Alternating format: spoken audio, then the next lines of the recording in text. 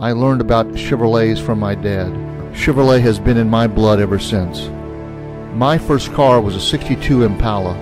My first car is this 2009 Cobalt. My first car was a 1976 Camaro, and now I got this. This is my Chevrolet. That's my Chevrolet. My dad built Chevrolets all his life.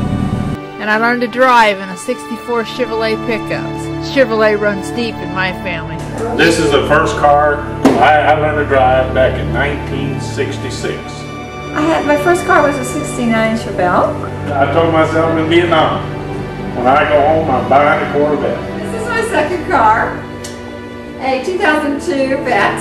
I had to fight a war to get me a Chevrolet Corvette. That Chevrolet runs deep in this family. Chevrolet runs deep.